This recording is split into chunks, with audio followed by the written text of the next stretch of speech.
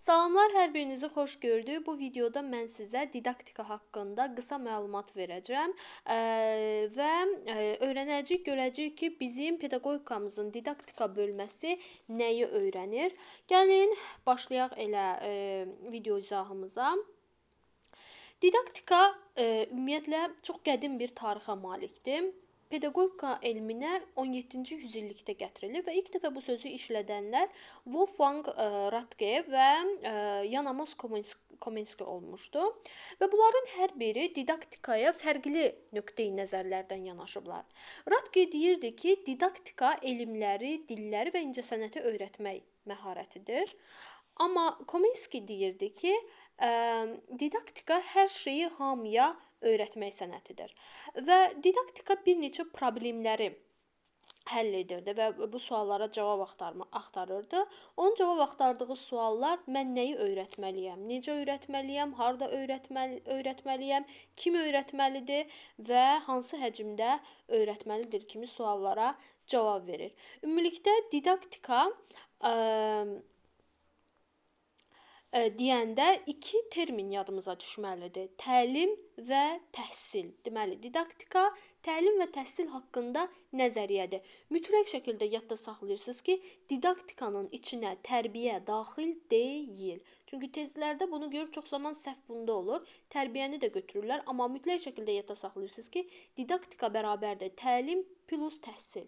Burada tərbiyədən söhbət gedə bilməz. Eee, didaktika eee, deməli məqsədi nədir? Təlim prosesinin səmərəli şəkildə həyata keçirilməsi üçün normativ tələblər hazırlamaq onun xüsusi məqsədlərindən biridir. Hər bir elmin, bölmənin predmeti və sahəsi var. Predmeti və obyekti var və predmet və obyekt anlayışlarını mən sizə pedaqogika bölməsində izah etmişdim. Və didaktikanın da predmeti təhsil və təlim hesab olunur, hansı ki, bunlar tədris müəssisələrində həyata keçirilir. Onun obyektinə gəldikdə isə eee, təlim qanuna uyğunluqları, məqsəd, prinsip, təhsilin məzmununun elmi əsasları, metod, forma və vəzifələr durur. Yəni didaktika bütün bunları öyrənən və təlimin yaxşılaşdırılmasına, səmərəli şəkildə həyata keçirilməsinə şərait yaratmaq üçündür.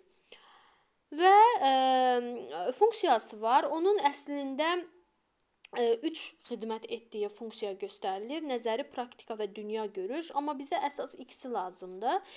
Nəzəriyyədə faktların eee, öyrənilməsidir. Praktikada onu təcrübəyə keçirməkdir. Dünya görüşdə özünüz də bilirsiniz ki, dünya görüşün artırılması və bu funksiyalar, amma yenə də deyirəm, bizə əsas nəzəri və praktik funksiyalar lazımdır.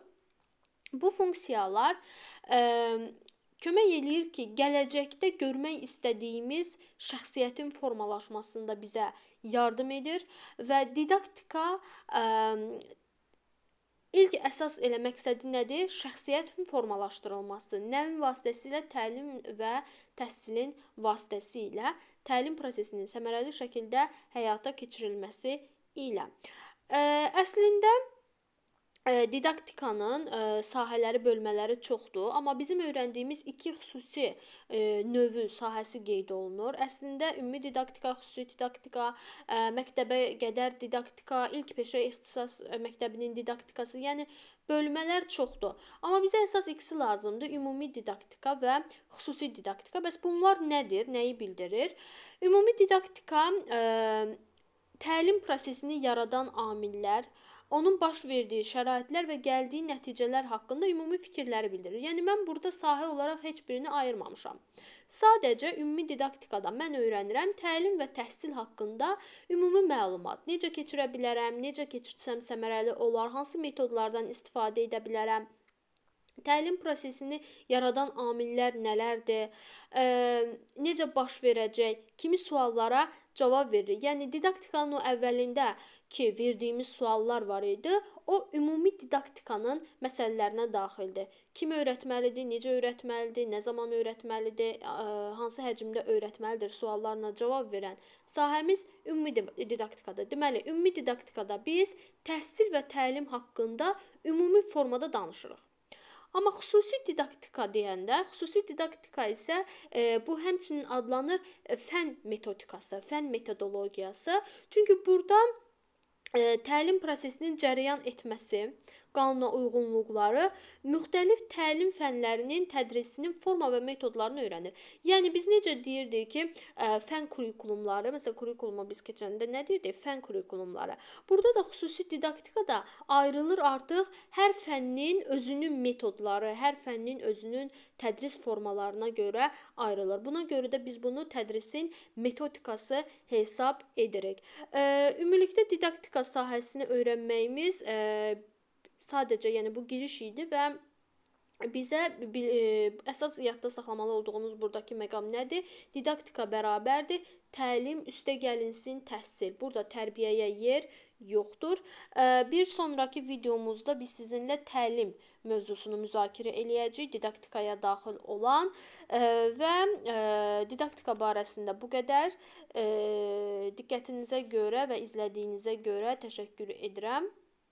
Yenə də sonda qeyd eləyim ki, ə, sonda Instagram səhifəm aşağıdadır. Mənimlə əlaqə qurmaq və ya hər hansısa bir sualınız olarsa sərbəst şəkildə vermək üçün Instagram adresimi ə, follow edin və eyni zamanda da ə, oradan məlumatlar əldə edə bilərsiniz. Sağ olun.